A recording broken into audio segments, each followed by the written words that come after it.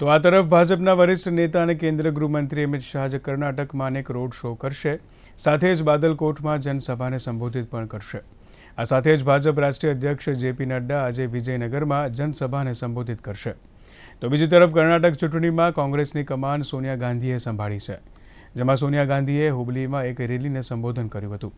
તો રાહુલ ગાંધીએ પણ કર્ણાટકમાં પૂરું જોર લગાડ્યું છે, જેમાં તેઓએ બે જનસભાને સંબોધિત કરી હતી.